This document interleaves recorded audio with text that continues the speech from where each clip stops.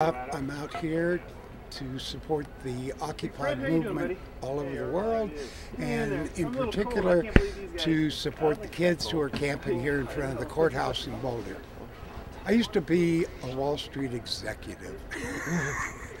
I I worked in New York City for Merrill Lynch. I was the vice president, and um, 20 years ago, when I moved here to Boulder, I figured out, and they found out that I was gay.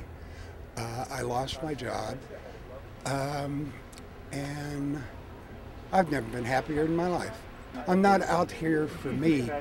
I have five grandkids, and I want my five grandkids to have a great life.